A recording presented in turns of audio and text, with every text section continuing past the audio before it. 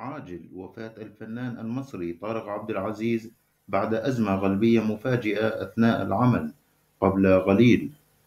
توفي أثناء التصوير.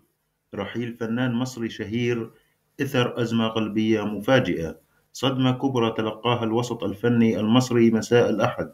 برحيل الفنان المصري طارق عبد العزيز إثر تعرضه لأزمة قلبية مفاجئة خلال التصوير.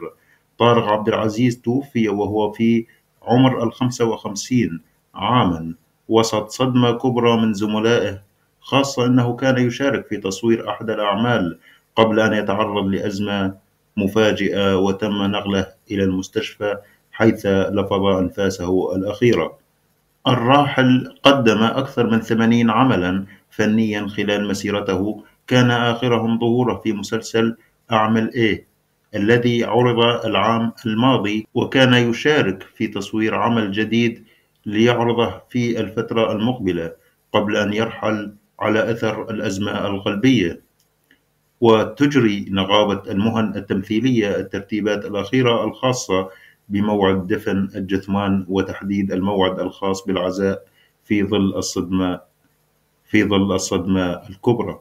وإنا لله وإنا إليه راجعون. شكرا لكم على مشاهدة هذا الفيديو. لا تنسونا باللايك والاشتراك في القناة.